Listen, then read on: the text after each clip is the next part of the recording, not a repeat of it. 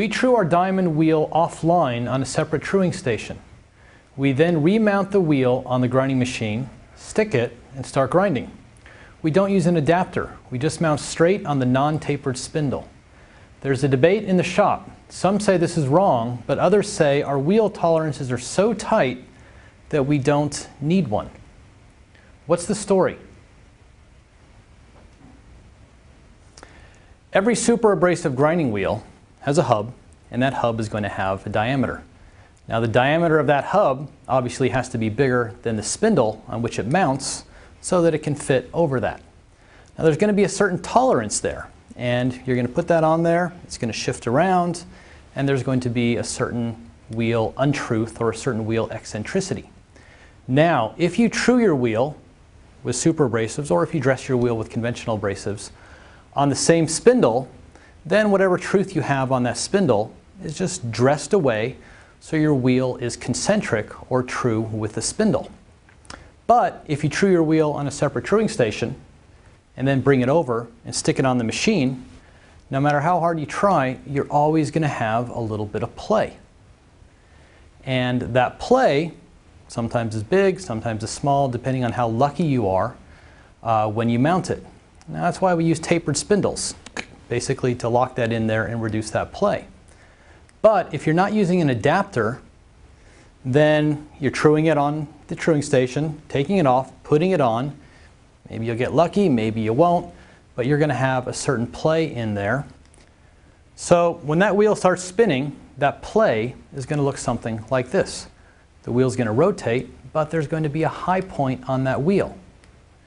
Now that high point, when it starts to grind, it's going to create a series of scallops in the workpiece and that's inevitable, but we want those scallops to be as small as possible.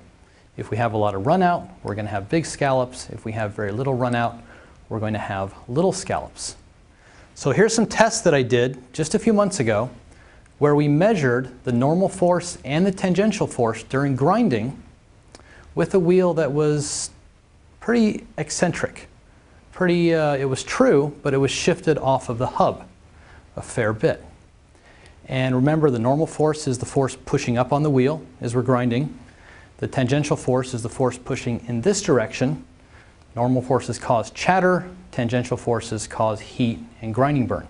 So we want to keep those as small as possible. What we see over here is grinding with a wheel that's relatively true.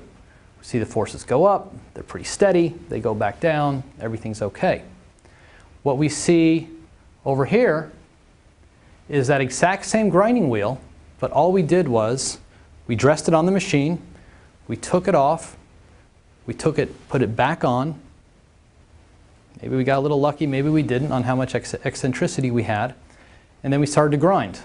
This is from a single pass. So the grinding wheel has gone across the workpiece just a single time. And you can see the normal force and the tangential force, boom, boom, boom, boom, hitting, not hitting, hitting, not hitting.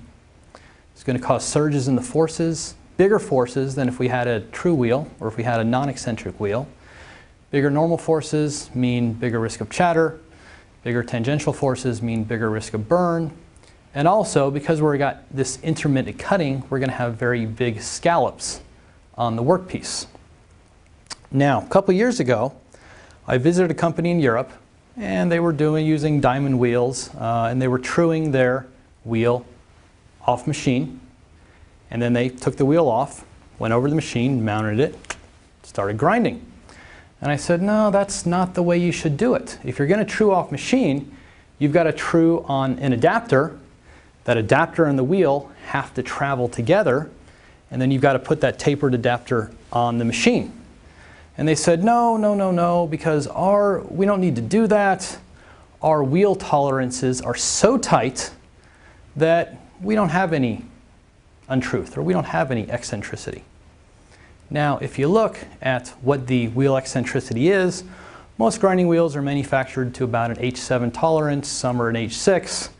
But if you look at that, you're looking at around 25 microns or a thou potential gap or play within there. That's too much.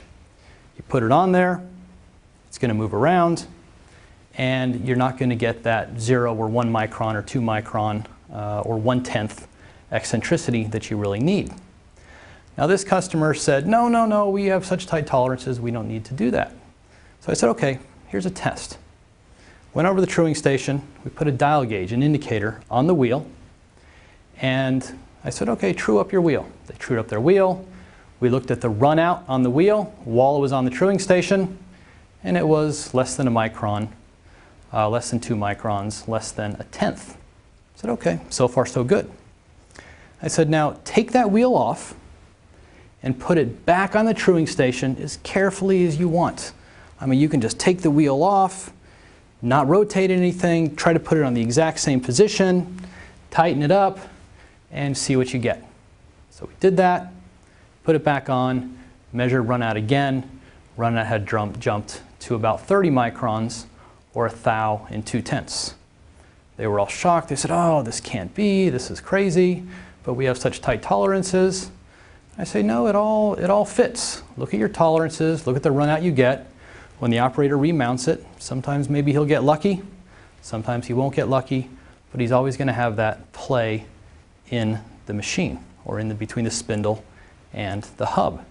So if you're going to use a truing station, you've got to use a tapered adapter. The adapter and the wheel travel together. Um, or if you're going to take that approach where you're not going to use an adapter, you're just going to mount it on there, you've got a true on machine.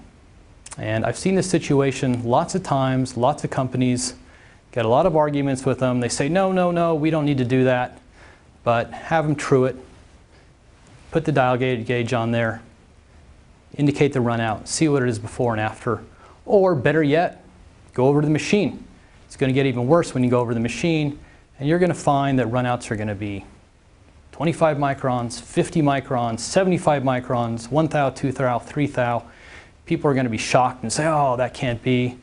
But it can be, and it makes sense when you look at the tolerances and what you'd expect.